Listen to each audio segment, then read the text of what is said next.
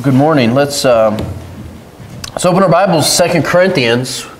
Uh, we're, we're, we're back into uh, our study of Second Corinthians. We, we pick it up there in, in chapter 10. And um, part of the reason why I wanted to take a break, not only because it was, it was Christmas and um, you know, I wanted to preach those messages, but I felt that chapter 10 went, was, a, was a very good message to, to preach on the dawn of a new year. Um, when we start thinking about the you know the year upcoming and okay you know what, what it is that you know we, we want to do better this next year than what we did last year. You know what direction do we want to see our lives go in? You know what, what commitments do we want to make? You know what, what are the things that we see God leading us into this next year? And you know, we're, we're going to look, Paul just basically, he's just giving a, a testimony of kind of his, of his life and his ministry and kind of what was going on. And we're just going to pull three things from that and we're going to apply that to, to our testimony as we look forward to, to 2018. Not just us as individuals, but even us as, as a church, when we start thinking about the direction and vision, okay, where it is that, that we are as a church and where do we see God leading us as, as a church. Um, uh, my prayer is that these three things would kind of uh, be a springboard for us, if you will, um, as, as we move into 2018. Uh, 2 Corinthians uh, chapter 10. I'm actually going to tackle the entire, uh, the entire chapter this morning, so, uh, so let's get into it. Let's stand as we honor the reading of God's Word this morning. 2 Corinthians 10, uh, beginning verse 1, the holy, perfect, inerrant Word of God says this. Now I, Paul, myself urge you by the meekness and gentleness of Christ. I who am meek when face to face with you, but bold toward you when absent. I ask that when I am present, I need not be bold with the confidence with which I propose to be courageous against some who regard us as if we walked according to the flesh. For though we walk in the flesh, we do not war according to the flesh. For the weapons of our warfare are not of the flesh, but divinely powerful for the destruction of fortresses. We are destroying speculations and every lofty thing raised up against the knowledge of God. And we are taking every thought captive to the obedience of Christ. And we are ready to punish all disobedience whenever your obedience is complete. You are looking at things as they are outwardly. If anyone is confident in himself, that is, he is Christ's, let him consider this again within himself, that just as he is Christ, so also are we. For even if I boast somewhat further about our authority, which the Lord gave for the building, um, for building you up, and not for destroying you, I will not be put to shame. For I do not wish to seem as if I would terrify you by my letters. For they say, His letters are weighty and strong, but his personal presence is unimpressive and his speech contemptible. Let such a person consider this that what we are in word by letters when absent, such persons we are also indeed when present. For we are not bold to class or compare ourselves with some of those who commend themselves. But when they measure themselves by themselves and compare themselves with themselves, they are without understanding. But we will not boast beyond our measure, but within the measure of the sphere which God apportioned to us as a measure to reach even as far as you. For we are not overextending ourselves as if we do not reach to you. For we were the first ones to come even as far as you in the gospel of Christ, not boasting beyond our measure, that is in other men's labors, but with the hope that as your faith grows, we will be within our sphere enlarged even more by you, so as to preach the gospel even to the regions beyond you, and not to boast in what has been accomplished in the sphere of another, but he who boasts is to boast in the Lord. For it is not he who commends himself that is approved, but he whom the Lord commends. Let's pray. Dear Heavenly Father, Lord, I pray that, uh, Lord, that you would just encourage us this morning. Lord, I know that um, whether we, we verbally say it or not, whether we, we make these you know, resolutions. The, the New Year is always a, a time for reflection. As we look back, but it's also a time for a new beginning as we move forward. Lord, I pray that we can take this testimony of, of Paul and his ministry. Lord, we can make application into our life and our church and the ministry that, that goes on here. Lord, I pray that in 2018 that we can be more faithful with the gospel than what we were in 2017. Lord, I, I pray that in 2018 we can go and, and to more places, reach more people, become a greater witness for you. Lord, I pray that you would help us to be faithful in the sphere that, that you've given us. Let us not look to, to others. But Lord, let's, let's take care of what it is that you've entrusted us with. Lord, I, thank you for, Lord, this time of worship, even the worship through the preaching of your word. May it be pleasing in your sight. Lord, may you be glorified. Not just in this moment, but Lord, moving forward, may we seek to bring glory and honor to the name of our Lord and Savior each and every day, each and every month, each and every year. Lord, we love you. And we lift up all these things in the most precious name of Jesus. Amen. You may be seated.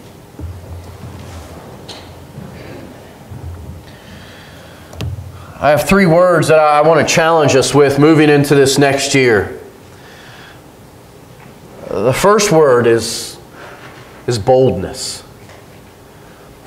Boldness. I, think there's a, you know there's a there's an area of our life that I think that we all you know no matter how bold we, we, we find ourselves or how much boldness we find lacking in ourselves, we, we should all have a desire to have more more boldness or at least to, to want to be able to exercise boldness when it comes to our relationship with Christ more boldness when it, when it comes to um, evangelizing for Christ, more boldness when it comes to making disciples for the name of Christ. You know what? Boldness is, is only one of those words. Um, I looked down and I realized I wrote down the wrong word. You know what the word that I wanted there? It's balance. Because we're going to balance boldness with something else. Let, us just read verses 1 and 2. Now I, Paul, myself urge you by the meekness and gentleness of Christ, I who am meek when face to face with you, but bold towards you when absent. I ask that when I am present, I need to be bold, with, with the confidence with which I propose to be courageous against some who regard us as if we have walked according to the flesh. So we need to have a balance, yes, between boldness and meekness or gentleness, as the Apostle Paul here. One of the things that, that Paul's addressing is that you know, there were those again. Remember, we got to go back to our knowledge of what we've, you know, looked at the first nine chapters of, of 2 Corinthians. Re remember that there were some within the church that were trying to discredit Paul by, by any means necessary. They were trying to discredit him personally. They were trying to discredit his ministry. Here they were trying to discredit, you know, the letters that he had written to the Corinthians. And they said, something doesn't make sense here. Because how he's writing to us is, is very bold in nature, but Paul, when he is present with us, is actually very meek.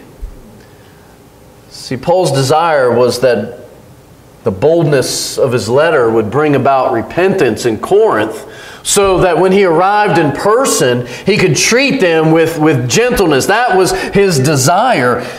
He says,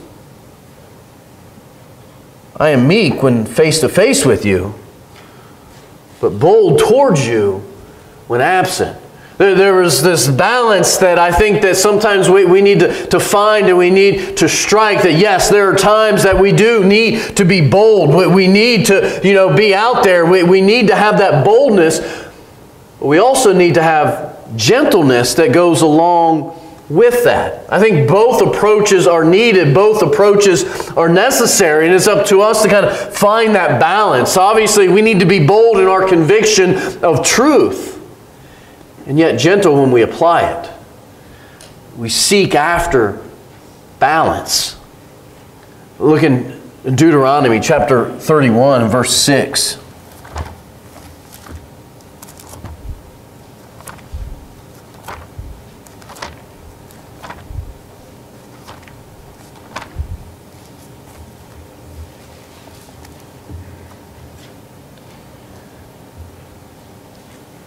Here, the Lord is instructing the children of Israel, but this instruction carries over and on to, to all the, the, the children of God because what accompanies this instruction does not change. God says, be strong and courageous. You know, I, I, another way that we can say that, some other translations say, be, be strong and bold. Um, be bold and courageous. Be strong and courageous. In other words, have this, this boldness, and God gives us a reason. He says, Be strong and courageous, and do not be afraid or tremble at them, for the Lord your God is the one who goes with you, and he will not fail you or forsake you. The, the reason that we are to be bold is because that, that God goes forth. God is with us. God will never lead us. God will never leave us. Man, I'm glad this is the last last day of this year. We can just we need to strike this message from the record and um, erase this tape and just go back. Um, God says, "Be bold," because I'm I'm with you. And if the, the, the, presence of God is with us, and if the Word of God is, is convicting us and moving us, then absolutely, yes, we need to be bold in those things.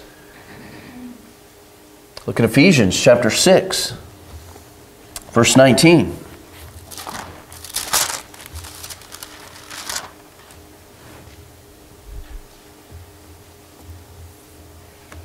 Here, Paul is asking the church at Ephesus to, to pray for him. He says, And pray on my behalf that utterance may be given to me in the opening of my mouth to make known with boldness the mystery of the gospel. So here God is telling the children of Israel, be strong and courageous, be bold because I am with you. Here Paul is praying and asking the church, he says, you know, pray that I will have boldness when I go and I speak the utterances of the mystery of the gospel of the Lord Jesus Christ. We need boldness. But look in 1 Peter chapter 3 verse 15.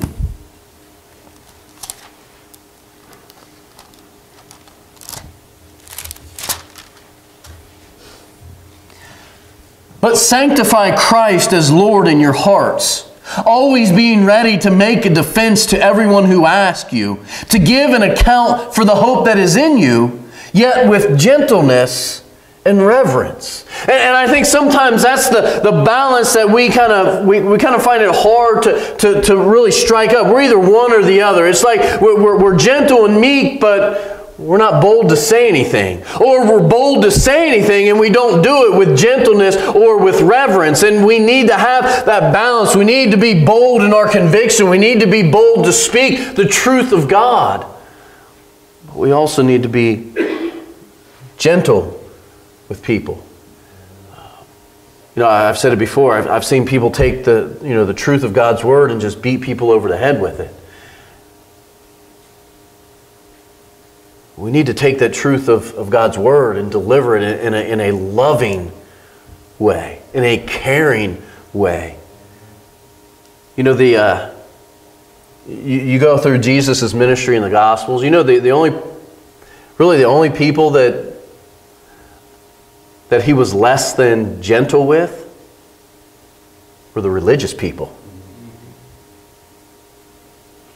Sinners, lost people, he was so gentle, so kind. Now, he didn't water down his words. He still spoke the truth in, in boldness, but he, but he did it in a way that, that it drew people to, to what he had to say because how he treated them. I think that is the thing that we have to remember. We need to be drawing people towards what we have to say by how we treat them. we need balance. We need to be bold. And we need to be gentle. Paul says, you know, when I'm writing, I'm, I'm, it's bold because it is this truth. But he says, I'm also meek. I'm also gentle.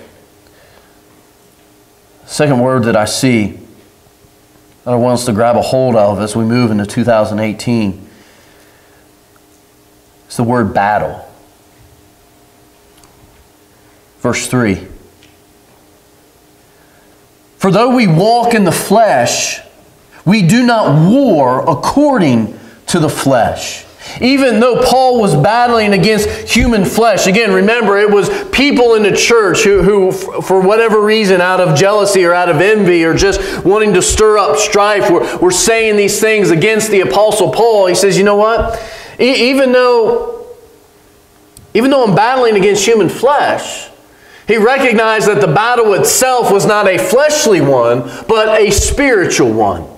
And, and I think that as, as we move into 2018, uh, we recognize that we are constantly in a battle. We, we are constantly in a spiritual battle. It, you know, we, we have been for a while, and I don't expect that to ease up because we're turning a new year. As a matter of fact, I expect that to actually get rougher, and, but it's recognition that even though it may be people saying things, even though it may be people doing things, ultimately the battle is a spiritual one. Look at Ephesians chapter 6, verse 12.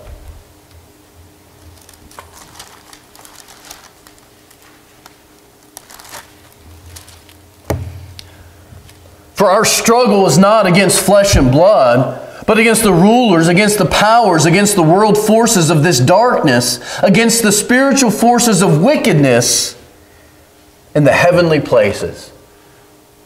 Our battle is a spiritual one. And as we prepare for 2018, we need to be ready for this battle. Because anywhere that we are out taking ground from Satan, he will fight back.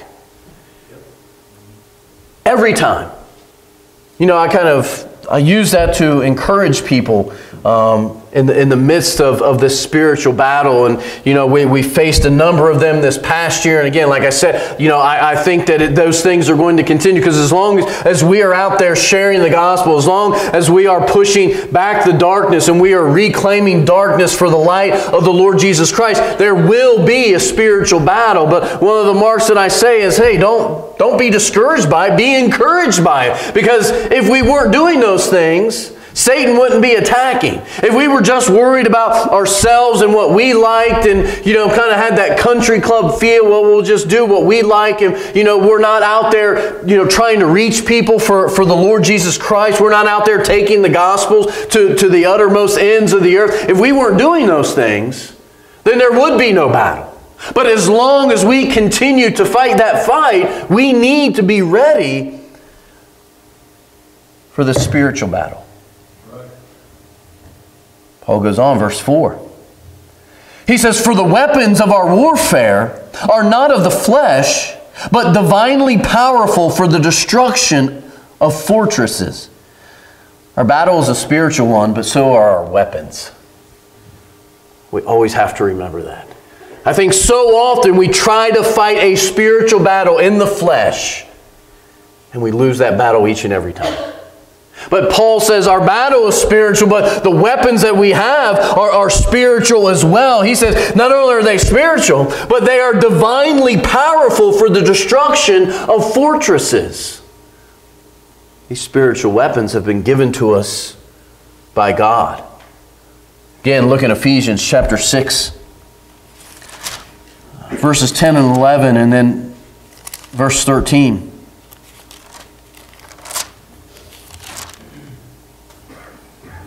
Finally, be strong in the Lord and in the strength of his might. Again, the weapons are they're divinely given. They're divinely powerful. That They're God's weapons. He just allows us to use them. So Paul again is reminding us to be strong in the Lord and in the strength of his might. And put on the full armor of God, so that you will be able to stand firm against the schemes of the devil. Verse 13, he says, Therefore take up the full armor of God, so that you will be able to resist in the evil day, and having done everything, to stand firm. Battle. 2018 will be a year of spiritual battles. It will be a year for us to take up the full armor of God. It will be a year for us to stand firm in the convictions that we have of the truth, the conviction that God has, has given us to go and to spread that truth. Back in 2 Corinthians, verses 5 and 6.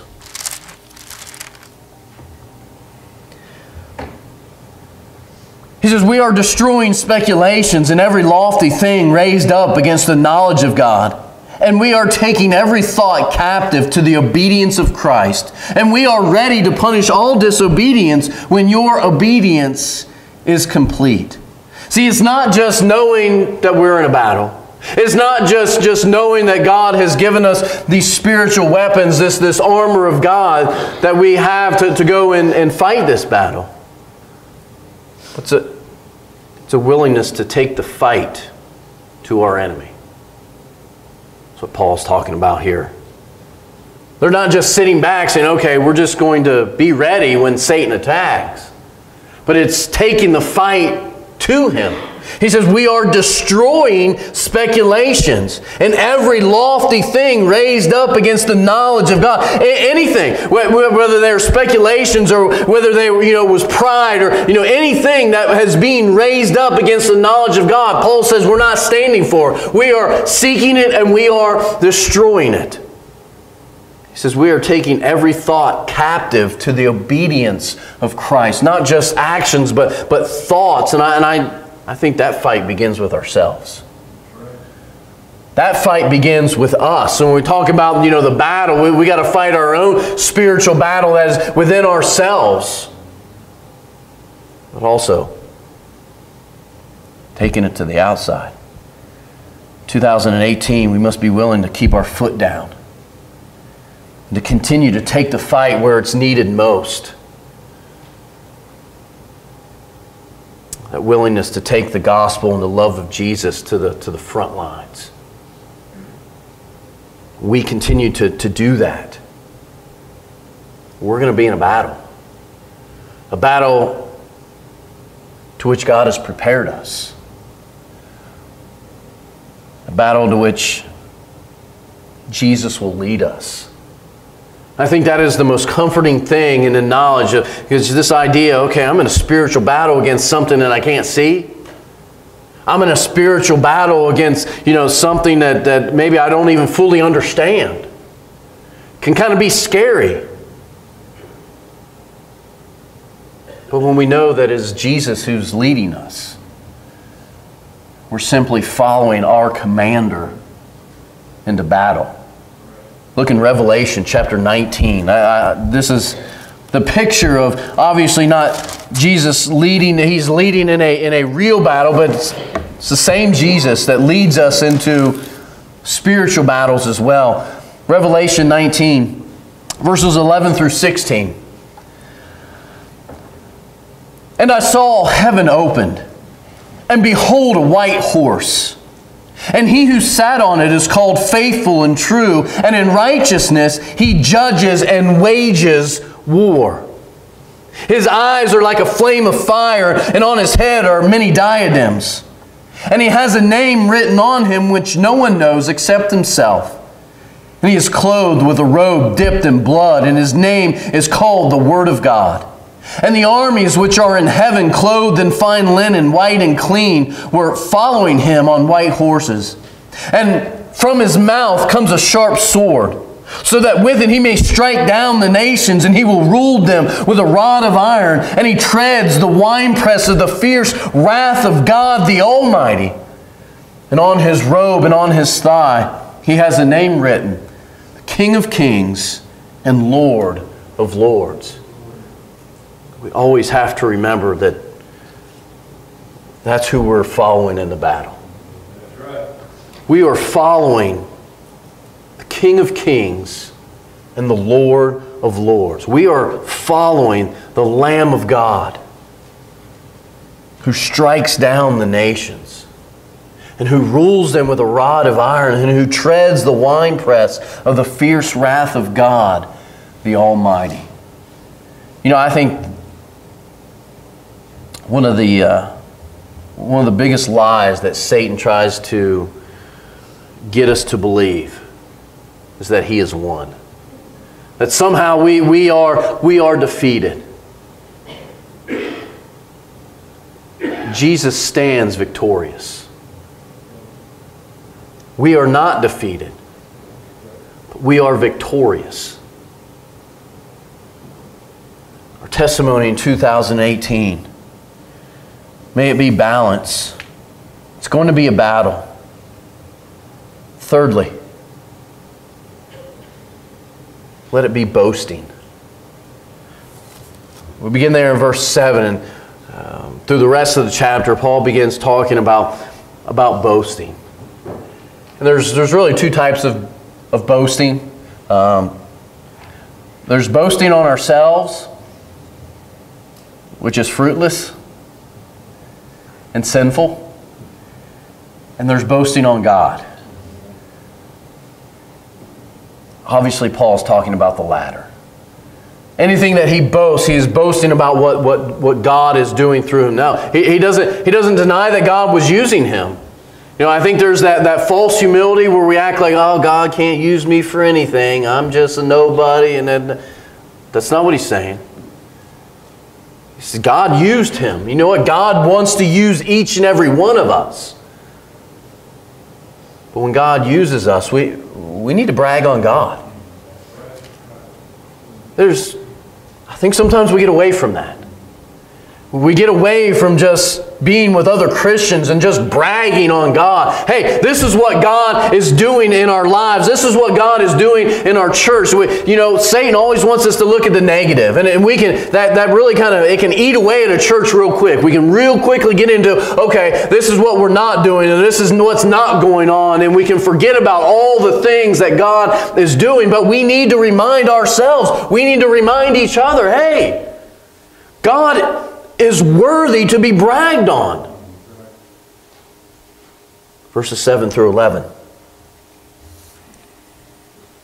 He says, You were looking at the things as they are outwardly. How guilty are we that? Are we of that? We look at external things. You are looking at things as they are outwardly. If anyone is confident in himself that he is Christ's, let him consider this again within himself, that just as he is Christ, so also are we. Our boasting, it begins that, that we belong to Jesus. Verse 8. He says, For even if I boast somewhat further about our authority, which the Lord gave for the building you up and not for destroying you, I will not be put to shame, for I do not wish to seem as if I would terrify you by my letters. For they say his letters are weighty and strong, and his personal presence is unimpressive, and his speech contemptible. Let such a person consider this that what we are in word by letters when absent, such persons we are also indeed when present. Our boasting is not displayed in physical things like numbers. Man, we can get wrapped up in numbers real quick. Um, you know, especially being, being Southern Baptists. Um, as Southern Baptists, we, we put a number on everything. Like everything that we do, it's like we, we put a number on it. Then we can get wrapped up in that. Numbers tell us some things, but numbers don't tell us everything. It's an external. Our boasting shouldn't be in physical things, but in inward things like salvation, obedience, spiritual growth. When, when, when's the last time that, that we bragged about, you know, uh, the, the obedience of ourselves or the obedience of someone else? When is the last time that, that we bragged that someone, they overcame a, a, a sin in their life? When's the last time that, that we bragged that we led someone to the Lord or that we experienced someone getting saved or we saw someone being baptized? When's the last time we bragged because we saw someone growing spiritually? Paul says when it, when it comes to, to, to boasting about ministry and, and the things that are happening, the things that we are doing, he says don't get caught up in looking at externals. Because things can look externally impressive and be spiritually shallow. I've used this illustration before, but um, this truth it just sticks with me so much. Bill Hybels, a pastor at Willow Creek Church in up by Chicago, at one point was one of the largest Protestant churches in in the United States. I don't, I don't think they are anymore, but they were late 90s, early 2000s. They did a survey of their church, spiritual survey. Because they were growing, they were huge, just, I mean, large. He says, I, I kind of want to take a spiritual temperature of their church. And they did a survey. And he wrote a book about it. And in that book, he wrote, he says, Our church is a mile wide, but it's only an inch deep. Externals don't, don't tell the whole picture. Paul says if you're going to brag on something, don't brag that your church is a mile wide. Brag how deep your church is. See, Paul was given words of authority to build up the body, not tear it down. We are, we are to build up the body spiritually. It's my job as your pastor.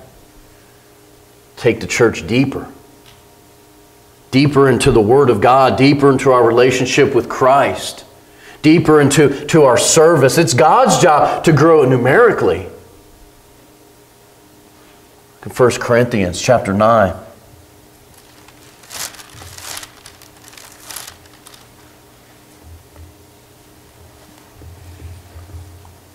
Verses 22 and 23. To the weak I became weak, that I might win the weak. I have become all things to all men, so that I might by all means save some. I do all things for the sake of the gospel, so that I may become a fellow partaker of it. I, I, I, love that mentality that the Apostle Paul had, but notice what he's not saying. He does not say, I became all things to all men, so that I could have a big church. Not what he said. He doesn't say, I became all things to all men so I can get larger offerings on Sunday. He says, I become all things to all men so that he could see some saved. Spiritual boasting. In Ephesians chapter 4, verses 11 and 12.